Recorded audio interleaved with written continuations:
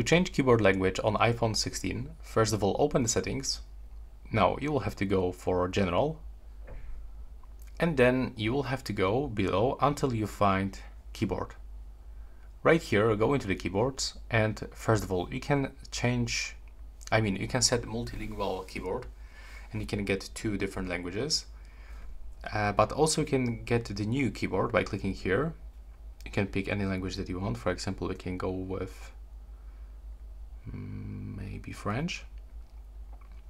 And now we can uh, add it to the new keyboard and pick the layout. Click done. And now, when you want to use this keyboard, you will have to open your keyboard in any place and click here. As you can see right now, we simply change the keyboard language.